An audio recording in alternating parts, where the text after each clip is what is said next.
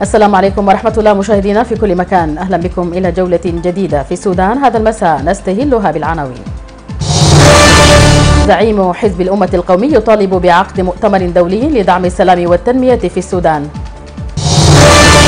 المجلس السيادي الانتقالي يؤكد أن قضايا التعليم على رأس أولويات الحكومة الانتقالية. منبر السودانيين الوحدويين يؤكد حرصه على دعم الاستقرار بمنطقة أبيي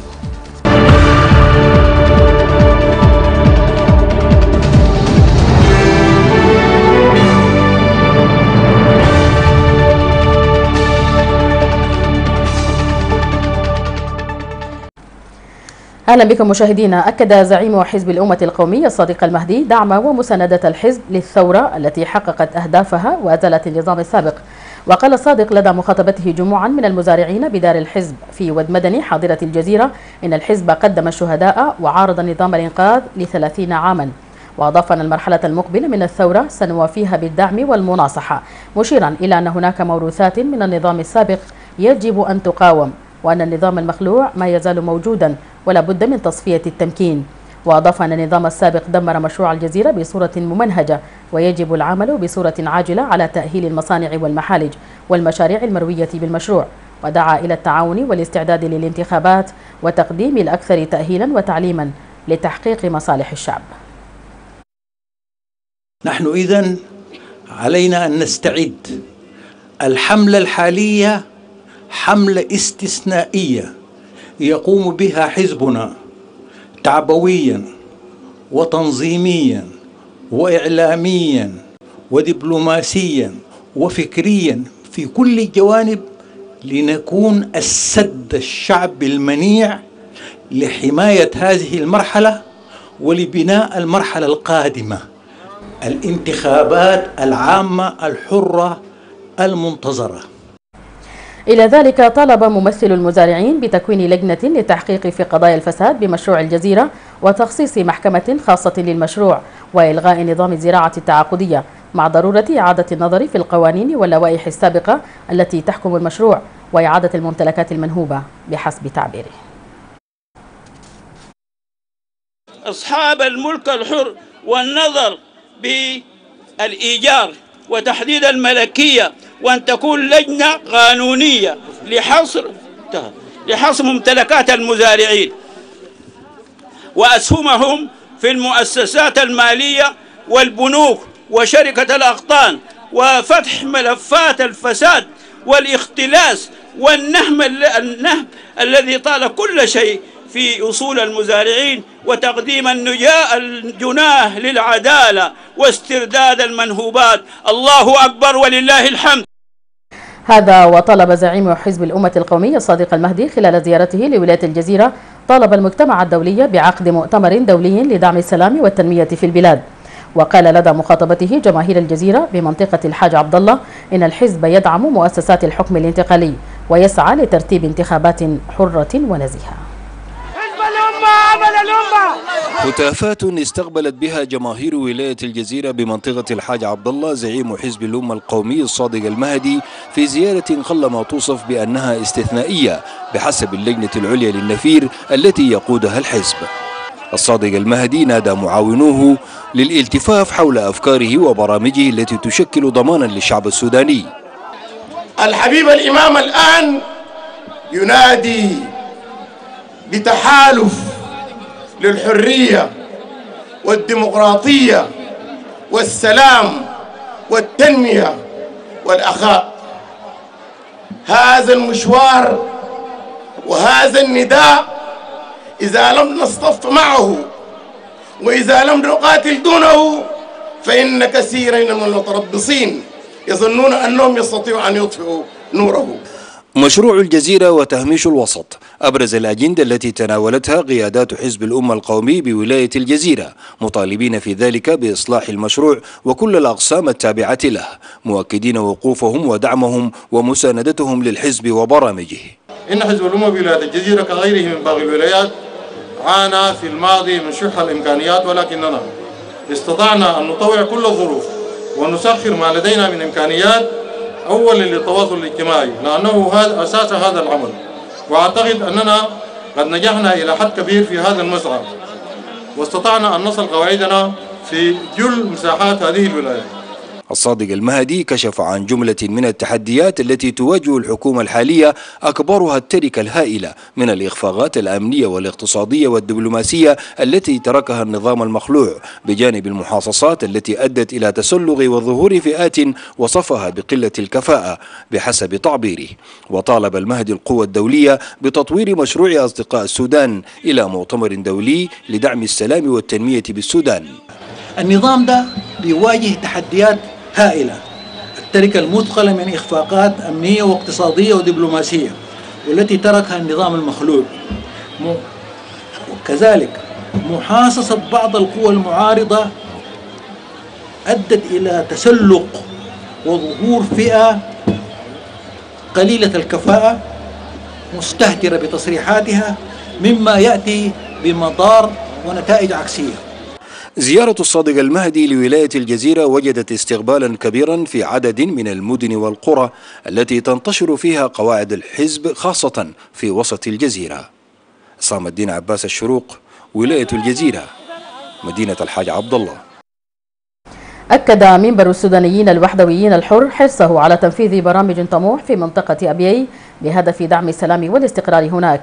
وبحث المنبر في الخرطوم خلال لقائه قيادات الإدارة الأهلية بمنطقة أبيي عددا من القضايا التي تتصل بالتعايش السلمي في المنطقة. وقال الأمين العام للمنبر أنس النور في تصريح للشروق إن المنبر يعكف على تنفيذ العديد من البرامج الاجتماعية والثقافية لدعم وتعزيز السلام في أبيي مشيرا إلى أن المنبر يسعى لإشاعة السلام عبر آلية بناء السلام وإعادة الثقة بين أهالي منطقة أبيي من المسيرية ودينكانوك منطقة غرب كردفان منطقة أبيي الإدارة الأهلية.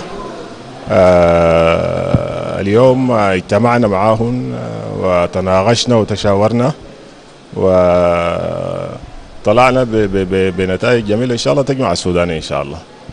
وهنا الآن يعني اتفقنا على أنه يتم تكوين مكتب للمنبر بالمنطقة. ومن أجل السلام والتعايش السلمي وإن شاء الله نحن في إطار السلام والتعاون السلمي عندنا يعني الأيام الجاية عندنا يعني مساهمات كبيرة جدا إن شاء الله تجمع بين الشقين إن شاء الله. وفي السياق ناشد العمدة محمد حماد ممثل الإدارة الأهلية في منطقة أبيي الحكومة ومنظمات المجتمع المدني الإسراع في دعم المنطقة مشيرا إلى أن منطقة أبيي تعاني من ضعف مشروعات التنمية. وغياب هياكل الدولة. منطقة أبيي يا أخوان هي الآن منطقة تعاني من ضعف شديد جدا في الخدمات التنمية تماما. والآن هذه المنطقة فيها عدد لا يستهان به من المواطنين السودانيين المتضررين ضرر كبير وبالغ جدا. ونحن مادين يدنا لهذا المنبر والخيرين وللثورة ثورة الحرية والتغيير أنهم يخطوا هذه المنطقة في أعينهم وإمكانية أنها تبقى منطقة لأنه لا تخفى عليكم أنه منطقة تبيي منطقة بترولية منطقة ذات غابات فيها موارد غابية موارد غابية فيها بترول فيها مواد معدنية أخرى. أكد عضو المجلس السيادي حسن شيخ إدريس دعمه لقضايا العلم والتعليم. مؤكدا أهمية تهيئة المناخ الملائم للمعلم معتبرا قضية التعليم من أولويات الحكومة الانتقالية. وأشار لدى مخاطبته الاحتفال باليوم العالمي للعلم لصالح السلام والتنمية الذي نظمته منظمة متاع المقوين للتنمية المستدامة بوزارة التربية والتعليم في ولاية الخرطوم بالتعاون مع المنظمة الطلابية لمحو الأمية والمنظمة العالمية للأسرة والطفل والذي يأتي تحت شعار إتاحة العلوم أمام الجميع. أشار إلى ضرورة السلام الذي نصت عليه الوثيقة الدستورية مشيدا بمبادرة المنظمة والاحتفال بيوم العلم. جعلت الوثيقة الدستورية السلام أولوية الأولويات وحددت له سقفا وزمنا لإنجازه. نسأل الله أن يوفقنا في ذلك. فقد بدأت مفاوضات السلام ونرجو أن تستمر وأن تصل إلى أهدافها ومراميها. السلام شأن عام. السلام يجب أن يكون من اهتمامات شعب السودان بأكمله. هذه الفعالية فعالية مقدرة وتستحق التقدير. من جانبه أوضح ممثل وزارة التربية والتعليم الاتحادية محمد حماد الأمين أن الاحتفال باليوم العالمي للعلم تقليد درجت عليه المنظمة العالمية في العاشر من نوفمبر من كل عام ومن أهدافه ربط العلم بالمجتمع والتأكيد على دور العلماء. ودعا المسؤولين الحكوميين ومنظمات المجتمع المدني والقطاع الخاص لجعل يوم الاحتفال نقطة انطلاق لنشر التوعية الخاصة بالعلم وأهدافه وصولا إلى تعزيز الوعي العام بدور العلم في المجتمعات. من أبرز أهداف الاحتفال بهذه المناسبة ربط العلم بنحو أوثق مع المجتمع وإلى ضمان اطلاع المواطنين على التطورات في مجال العلم. ونحن في وزارة التربية والتعليم الاتحادية ندعو جميع المسؤولين الحكوميين ومؤسسات المجتمع المدني والقطاع الخاص والمؤسسات التعليمية وقطاع الأعلام الرسمي والشعبي والخاص والمواطنين بشكل أعم لجعل هذا اليوم نقطة انطلاق لأنشطة التوعية الخاصة فيما يتصل بموضوع اليوم وأهدافه. أرست وثيقة الصلح بين قبيلتي العوضية الجعليين والعبابدة بمدينة شندي قيما جديدة لنشر ثقافة السلام وأكدت على أهمية وحدة السودانيين لضمان الاستقرار والسعي لمحاربة الجهوية والاحتكام لصوت العقل والقانون. الموضوع طلب عفو عن الغصاص الصلح خير. نهج اتبعه العوضية الجعليين مع إخوتهم أبناء العبابدة فاستخدموا العفو والإصلاح فكان الأجر والبركة من الله. نعم كان أخيرا هذا الصلح وتوج ذلك بالعفو. تحت رعايتكم أخي الكريم رئيس مجلس السيادة. فندعو الله أن تكون ذخرا لهذا البلد. وندعو الله التوفيق. وكذلك نشكر كل من من بادر وكل من ساهم في هذا الصلح وكل قيادات القبائل ووفود القبائل التي حضرت هذا المؤتمر والتحية عبرهم لقبائلهم في نواحي السودان المختلفة. الصلح الذي تداعى له أبناء القبيلتين كان للعديدين من الخيرين من أبناء السودان من الولايات المختلفة من دارفور وكردفان والجزيرة والخرطوم وولايات الشرق سهم وجعل لا سيما من القيادات الأهلية فضلا عن منظمات المجتمع المدني والخيرين من رجال المال والأعمال رغبة في إقرار الأمن والسلم الاجتماعي بين مجتمع متصاهر متجانس ربطت بينهم الوشائج مئات السنين ولم يتأخر عن الدفع بالإحسان لهذا العمل مغتربون من أبناء المنطقة وغيرها. إن الهدي الرباني في إصلاح ذات البين حاضر يردده العارفون. كيف لا؟ فأجره لا تحده حدود ولا يقاس بالميزان فتقديره من الرحمن. فأنتوا أولياء الدم. ما قاعدين تعملوا في حاجة هي عبارة عن عادة اجتماعية. لا. أنتوا بتعملوا في نص ورد في كتاب الله عز وجل وبتبتغوا به أجرا عند الله. في ثلاثة حاجات ما بيخشن الميزان. كل شيء يوم القيامة بيخش الميزان عشان يوزنوه. حسناتك وسيئاتك وهكذا. لكن في ثلاثة حاجات مرقا من الميزان ده. الأول هو الصبر. قال تعالى إنما يوفى الصابرون أجرهم بغير حساب. والعلماء لما جو قالوا بغير حساب دي فسروها قالوا لا يكال لهم كيل ولا يوزن لهم وزن ولا يعد لهم عد بل يغرف لهم من الحسنات غرفا. ديل الناس اللي بيصبروا. والثاني الصوم. الصوم لا يعلم أجره إلا الله. يقول الله تبارك وتعالى في الحديث القدسي كل عمل ابن آدم له إلا الصوم فإنه لي وأنا أجزي به. والثالث ياهو العدل ده. والثالث ياهو العفو ده. قال تعالى فمن عفا وأصلح فأجره على الله. كم ما معروف. مثلما أن جهد المجتمع المدني كان ماثلا في الصلح فإن الدولة كانت حاضرة عبر رئيس مجلس السيادة الذي رعى الإصلاح وذلل عقباته. ولاية نهر النيل ظلت تقدم المثل الأعلى في التضحية وفي إظهار الصفات النبيلة لأهلها. في كل مكان مشينا في السودان لقينا إنسان نهر النيل. في كل مكان. بنلقاهم دائما هم بيقدموا القدوة في التعامل القدوة في التسامح القدوة في التعامل الراغي مع كل مع كل الناس مع كل البشر. أيضا في هذا المقام يجب أن نشكر شهدائنا جميعا شهداء السودان اللي قدموا أرواحهم في كل مكان وآخرهم شهداء الثورة. الثورة ال- ال- ال- الآن نحن بنتفيأ ظلالها هذه الثورة وهذا التغيير يا أخوان تغيير حقيقي. تغيير حقيقي فيه تكامل لأدوار الشعب والقوات المسلحة.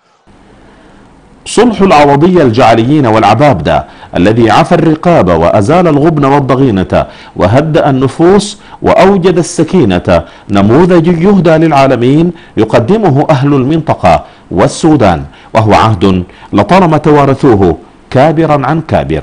مامون عثمان الشروق الخرطوم. وللحديث أكثر حول موضوع الصلح الذي كان يوم أمس بين قبائل العبابدة والجعليين العوضية. ينضم إلينا داخل الاستوديو آه، دكتور سيد صالح العبادي أمير قبيلة العبابدة بالسودان أهلا بك دكتور. آه، مرحبا أهلا وسهلا وسعيدين أن نكون ضيوفا على حياك قناة الله. الشروق. حياك الله. هنالك في الحقيقة جهود كثيرة بذلت يعني في في هذا الصلح. سواء كان من من منظمات آم، داخلية في مجتمع آه، ولاية نهر النيل أو كانت من أبناء ولاية نهر النيل في الخارج من قبلكم أنتم آه، في العبابدة أو من آه، قبائل الجعلين أو والعوضية بالتحديد. حدثنا عن الاحتفاء عن ال- ال- الحدث الذي أدى لهذا المشكل ثم جاء الصلح بعد ذلك. آه، نتحدث أولا عن ما الذي حدث حتى نربط الناس بترتيب الحدث. طيب آه، حقيقة منذ البداية كانت آه، مشكلة بين شباب من أهلنا العوضية وأبنائنا من العبابده وكانت مشاجرة عادية بين الشباب ونزغ الشيطان فيما بينهم ونتج من خلال هذه المشا- المشاجرة آه، قتيل من أهلنا ال- العوضية ربنا يتقبله شهيدا وأيضا آه، اثنين مصابين من أهلنا العوضية وماشت القضية مراحل التقاضي آه، خلال ثلاث سنوات وثمانية أشهر حتى وصلت نهاياتها في مراحل التقاضي وكان الحكم النهائي بالإعدام شنقا حتى الموت لخمسة من أبناء العبابده فهذه المراحل آه، التي كانت سبب في الإشكالية هنالك بدأت تتدخل الجهود منذ بداية تقبل العزاء لقبيلة العبابدة وكان على رأس هذه ال- الجهود التي بذلت منظمة معروفة لدى كل السودانيين تنضوي تحتها كل قبائل السودان.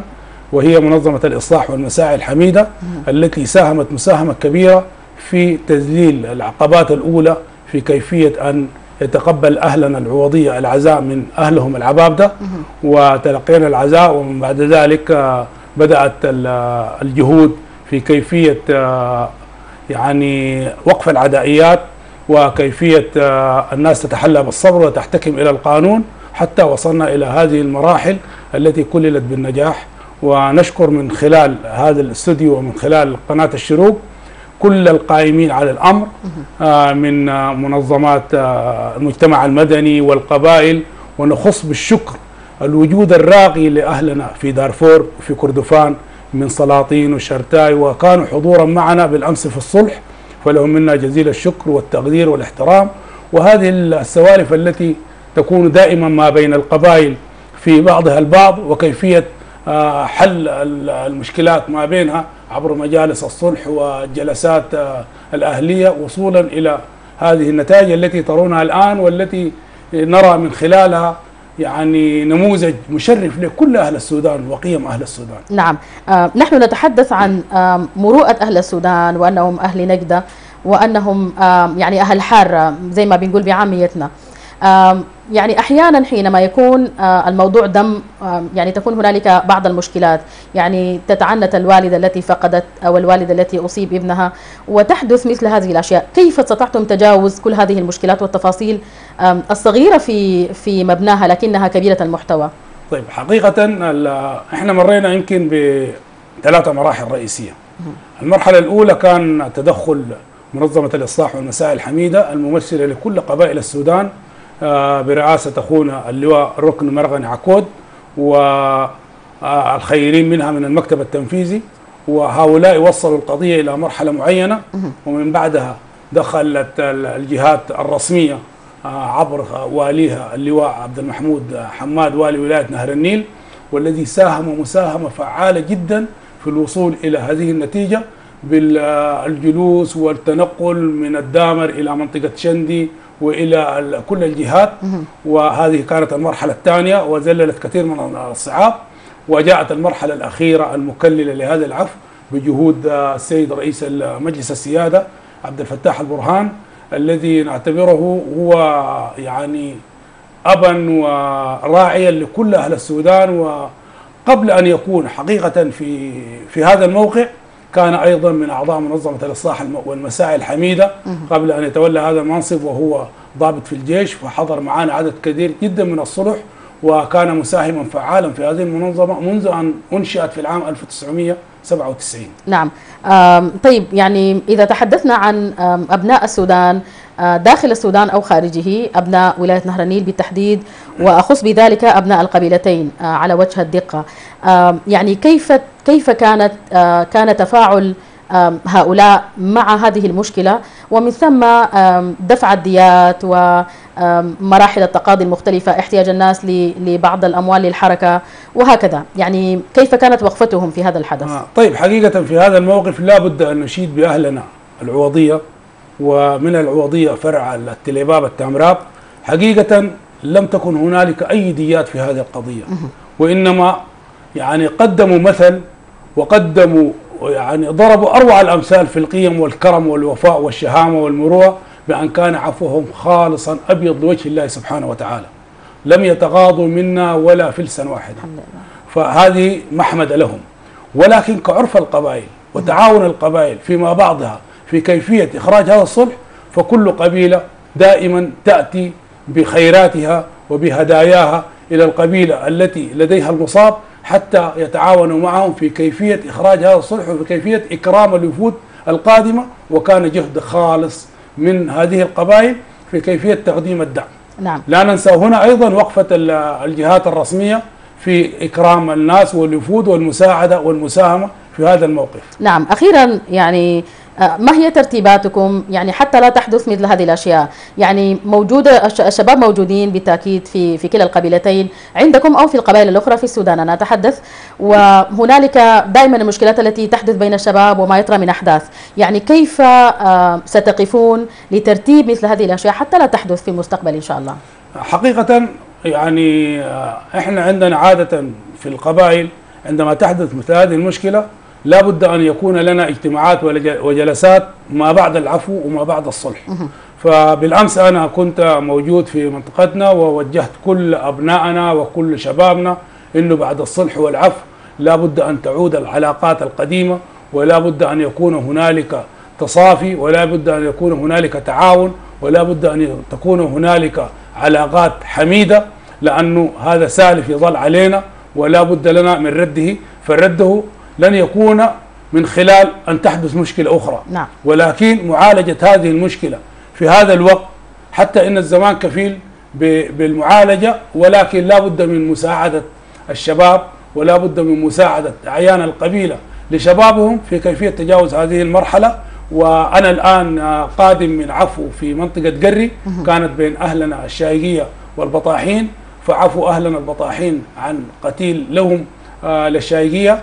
وحضرنا هذه المراسم وكانت بحضور والي الخرطوم وهنا لا بد أن نشيد بوالي الخرطوم الذي ساهم مساهمة فعالة في كيفية آه، إسكان هؤلاء المهجرين لأنه توجد بعض المعالجات آه، حتى لا لا تعود مرة أخرى فمن ضمنها آه، سحب الأسر المباشرة للمشكلة من المنطقة وتهجيرهم في أماكن أخرى وهذه بعض الحلول إذا كانوا في منطقة واحدة وفي نعم. قرية واحدة حتى تسكن الجراح وتهدأ النفوس ومن بعد نشوف إذا كان في معالجة مرحلة أخرى فهذا دائما بيأتي من أهل ال- القتيل ونحن ما زلنا نتوقع من أهلنا العوضية آه، المزيد من تناسي هذه الجراح وهذا الحزن العميق وهذا ديدا كل أهل السودان حقيقة ونحن هنا برضو نشيد مرة أخرى جهود القبائل وبالذات القبائل من غرب السودان من شمال كردفان من دارفور من شرق السودان البني عامر البجا آه، قبائل الشرق عامة قبائل الشمال. ونحن في ال- في النهاية نحمل رسالة هذه الرسالة كقيادات لقبائل ال- القبائل الموجودة في السودان لا بد من أن نتعالى فوق الجراح ولا بد أن نتصاهر ولا بد أن نتعاون ونتعاضد ونتساند حتى نخدم قبيلتنا الأم السودان. وما, وما نحن إلا مسميات. آه، قبيلة الجعاليين العبابدة الشايقية البطاحين. الزريزيقات غيرهم فهذه مسميات نعم. الهدف الأساسي منها هي القبيلة الأم السودان وبالتالي لا بد لنا أن نغير الفكر القديم والعصبية والجهوية حتى نخدم قبيلتنا السودان ونكون كلنا في خدمة القبيلة الأم السودان. بالتأكيد. يعني نحن قطع صغيرة من فسيفساء كبيرة تمثل السودان وقوتنا دائما في وحدتنا آه، يعني أكثر من اختلافنا. أشكرك شكرا جزيلا دكتور سيد صالح العبادي أمير قبيلة العبابدة بالسودان كنت معنا هذا المساء. حياك. شكرا. كثر خيركم وبارك الله فيكم.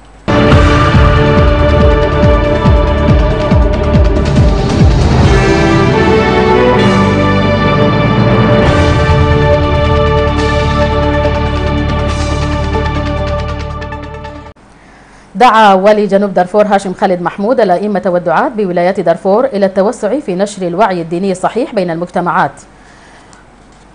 وقال إن في ذلك السلام والاستقرار وتعميم الفائدة وحتى تتشكل القاعدة الواضحة لكل المسلمين جميعا وهي الوسطية. وأوضح الوالي خلال افتتاح ورشة تأهيل وتدريب الدعاة بولايات دارفور أن نيال في نيال أن الإسلام دين وسطية ويجب معالجة الانحرافات الفكرية التي تدعو إلى الغلو والتطرف بين المسلمين. مطالبا الدعاة بالاستفادة من الأوضاع المستقرة لنشر سماحة الإسلام والتسامح ومحاربة العصبية في المجتمع. وأكد أن تكون منابر المساجد المرشد والموجه لتصحيح المفاهيم. هي ورشة تدعو إلى الوسطية بعيدا عن الغلو والتطرف والإفراط والتفريط. فالإفراط هو الزيادة والتفريط هو النقصان. فنحن لا نريد زيادة ولا نقصانا فالزيادة هي التشدد والنقصان هو التهاون. وإنما هي الوسطية بإذن الله سبحانه وتعالى. دورتنا هذه التي تعنى بتأهيل الأئمة والدعاء بولاية دارفور الكبرى تسعى إلى تجديد معاني الفهم الصحيح للدين وأحكامه في عقول ونفوس وواقع المسلمين موصولا في ذلك بمنغرة وصول الإسلام ومصادره الأساسية بما كان عليه الرسول صلى الله عليه وسلم من جهته أكد ممثل وزارة الشؤون الدينية والأوقاف إبراهيم التيجاني أن الورشة جاءت في وقت مهم يحتاج فيه المسلم إلى إنزال المفاهيم الصحيحة للإسلام والدعوة بعيدا عن التطرف والغلو. وقال إن اختيار البداية بولايات دارفور يأتي لأهمية دور الأئمة والدعاة في المرحلة القادمة في التبشير بالتسامح والسلام ومحاربة العصبية الضيقة. أردنا من هذه الورشة أن نقرب بين وجهات النظر وأن ننشر التسامح لأن الدعاة وهم ينوبون عن رسول الله صلى الله عليه وسلم الداعية هو نائب وخليفة لرسول الله صلى الله عليه وسلم في المنبر فأردنا من خلالهم إن لم يكن الدعاة على فهم صحيح بالدين وإن لم يكن الدعاة على فهم الدين من ناحية الوسطية وإن لم يكن التسامح منتشرا بين الدعاة فلا يمكن أن يصل هذا التسامح وهذه الوسطية التي ندعو آه، إليها. إلى آه، العامة.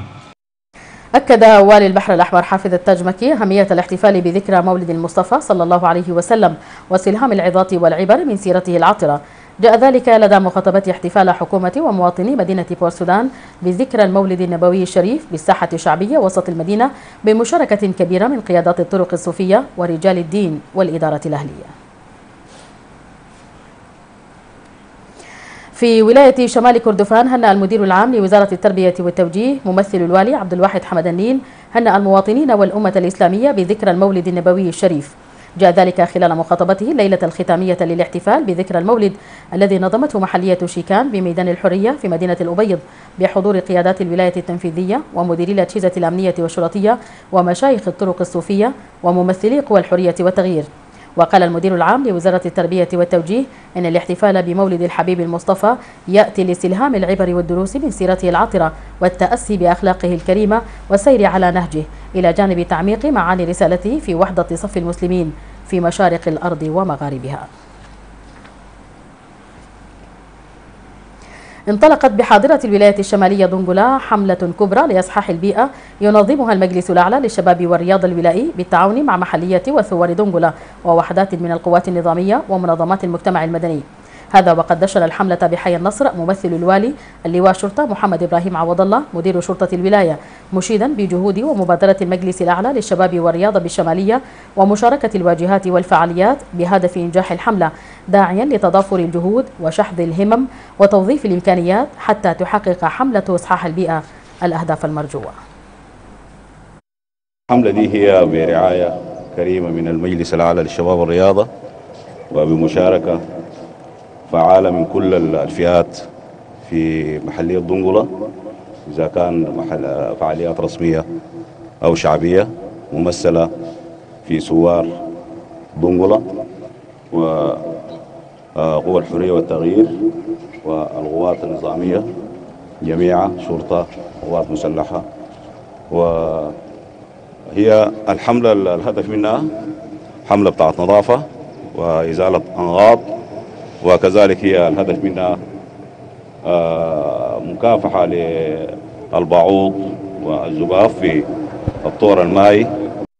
من جانبه أكد الأمين العام للمجلس الأعلى للشباب والرياضة زروق عبد الفتاح أن الحملة تجيء في إطار المبادرات والبرامج والأنشطة التي يقودها المجلس لتفجير طاقات الشباب والمساهمة في البناء والتعمير وخدمة المجتمع مشيدا بالجهات والفعاليات التي شاركت في هذه الحملة. هذه الحملات هي حقيقة مبادرة من المجلس الأعلى للشباب والرياضة بالولاية وشباب سوار دنقلة وبعد ذاك اتصلنا بكل الفعاليات. مشارك معانا إن شاء الله القوات النظامية المختلفة محلية دنقلة وحدة دنقلة مياه المدينة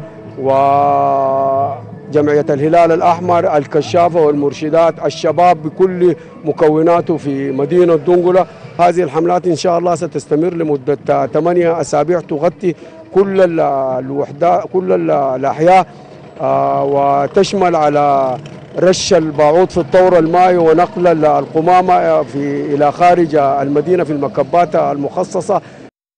إلى ذلك أكد ممثل ثوار دنقلا ياسر فؤاد الشيخ أن مشاركتهم في الحملة جاءت للمساهمة في نظافة وتجميل المدينة باعتبارها عاصمة الولاية الشمالية والوقوف في خندق واحد مع الحكومة والفعاليات والقطاعات المختلفة من أجل البناء والتعمير والنهضة وتحقيق شعار الثورة حرية سلام وعدالة على أرض الواقع. الحملة دي جاي من بها سوار دنقلة وسوار دنقلة هو يعني جسم فعال جدا جدا في خدمة المجتمع. آه كل الشباب وكل الشرائح حقت المجتمع في سوار دنقلة الآن هم اليد للبناء والتعمير بإذن الله تعالى ودي أول انطلاقة لنا وإن شاء الله آه حيكون هنالك أعمال كثيرة خالص خالص آه ونتمنى إنه الناس كلها يا جماعة تقيف مع سوار دنقله لأنه في النهاية نحن هدفنا الأول والأخير إنه كيف نبني هذه المدينة، كيف تكون هذه المدينة في مصاف المدن الكبرى إن شاء الله. احتفل تجمع جمعيات ومؤسسات المجتمع المدني في السودان بتخريج متدربي قادة المنظمات الوطنية حول تدريب المدربين التي أقامها التجمع بالتعاون مع مركز جانج واستهدفت أكثر من أربعين من قيادات المنظمات الطوعية. وأكد الأمين العام لتجمع جمعيات ومؤسسات المجتمع المدني بالسودان نادر عبد القادر أن الدورة هدفت لرفع قدرات قادة هذه المنظمات من أجل قيادة العمل الطوعي في البلاد. مؤكدا أن التجمع سيواصل برامجه في هذا الجانب.